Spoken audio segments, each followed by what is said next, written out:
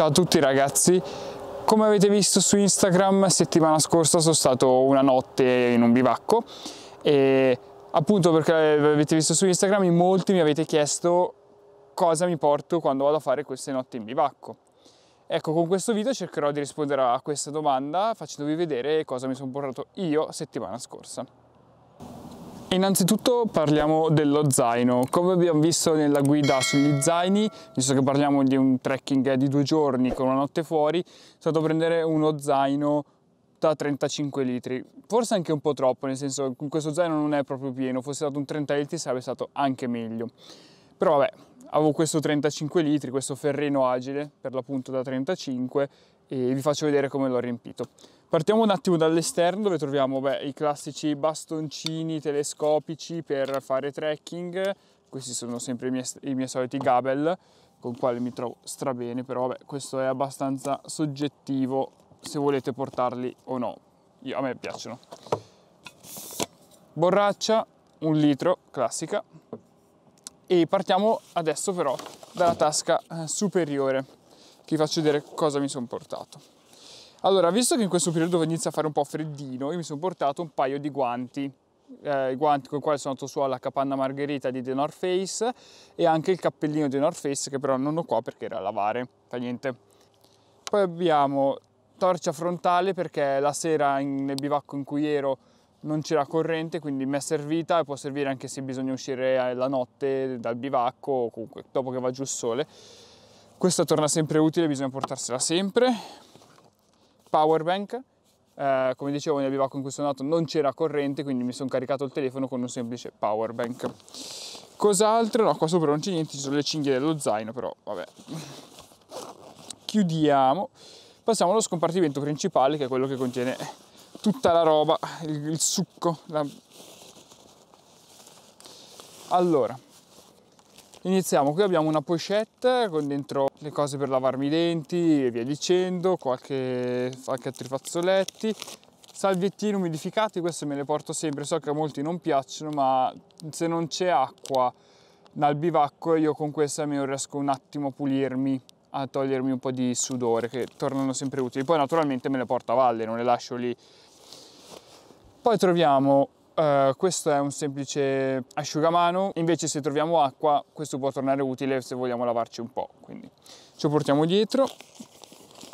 Poi troviamo una piccola scorta di cibo, perché nei bivacchi naturalmente non c'è possibilità uh, di qualcuno che ci cucini, quindi dobbiamo portarci dietro anche il cibo e io in questo caso ho qui dei risotti pronti che si cucinano molto facilmente in poco tempo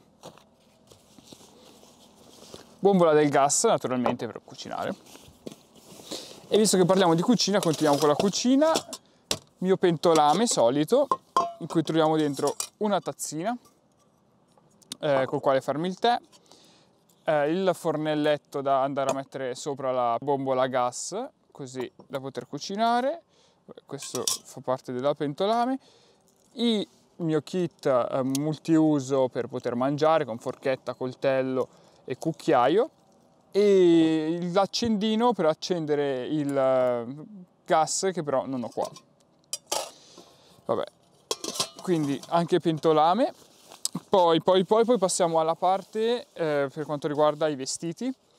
Qui dentro, visto che comunque ormai il clima è un pochino freddino, soprattutto in montagna, mi sono portato allora una eh, dei, delle calze lunghe, queste mi piace sempre averle con me che tengono caldi i piedi, una maglia a maniche lunghe lana merinos e un pantalone lungo termico. Con questi qua sono stato benissimo la sera e la notte a dormire senza nessun problema. Continuando, cosa abbiamo? Allora, kit di primo soccorso, questo sempre, sempre bisogna averlo dietro, anche perché visto che dobbiamo anche cucinare, non si sa mai che magari ci bruciamo un pochino, quindi evitiamo. Piumino, anche questo sempre averlo dietro, soprattutto la sera se dobbiamo uscire dal bivacco, con questo evitiamo di congelarci. E poi troviamo giacca impermeabile, perché anche questa è una di quelle cose che bisogna sempre avere dietro. E finalmente per ultimo, sacco a pelo in questo caso qua avevo un sacco a pelo da 5 gradi, io vi consiglio di stare tra i 5 e i 10 gradi quando andate nei bivacchi, anche perché se doveste per qualche motivo avere freddo, di solito nei bivacchi si trovano anche qualche coperta poter aggiungere sopra il sacco a pelo. E basta, tutto qui, lo zaino dentro è vuoto, è vuoto, quindi questo è tutto il materiale che mi sono portato. Vado ad aggiungervi però che in base al bivacco in cui andiamo potremmo dover portare qualcosa in più o qualcosa in meno. Vi faccio un esempio, in questo bivacco eh, non c'era la luce, eh, io mi sono portato una torcia frontale, molto semplice, però potevo portarmi anche una lampada più grossa da poter illuminare di più la sera mentre si mangiava. In questo bivacco non c'era possibilità di cucinare, non c'era né una stufa economica nemmeno una bombola a gas, quindi mi sono dovuto portare eh, la bomboletta. Eh, ci sono bivacchi in cui magari c'è la stufa economica, quindi possiamo benissimo cucinare sul fuoco. Eh, ci sono bivacchi dove, in questo caso i materassi, eh, ma ci sono bivacchi dove i materassi non ci sono, quindi dobbiamo andare a raggiungere un materasso e via dicendo.